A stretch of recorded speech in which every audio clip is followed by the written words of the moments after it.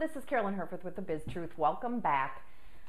Last week I talked about the saying confidence breeds success and asked if it's really success that breeds confidence, which breeds more success. And this week, today, I want to come at it from another angle, and that is does preparation breed confidence, which breeds success? In my first business, I had the great fortune of launching nearly 100 businesses, which created a very comfortable income and lifestyle for me.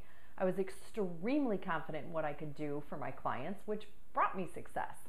But I didn't start out confident. In some areas, I felt overwhelmed and unclear, and quite frankly, lost. That success and the confidence that came from getting that, that I got came from getting the help from a team of amazing coaches and mentors who helped me get my ducks in a row and ultimately build my confidence one prospect at a time. In short, it required a lot of preparation and help. So I want to know what are you doing to build your success and ultimately your, your confidence? What steps do you take to prepare?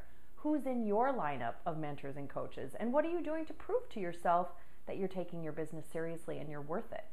The measuring stick of success in business is sales. If you don't have sales, you don't have clients. If you don't have clients, you're not doing your thing and changing lives for the better.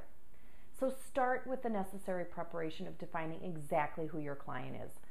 Get clear on how to articulate your value in their terms and establish a line of questioning that helps you guide your sales conversation so that you feel confident enough to make sales calls so that you can enjoy success.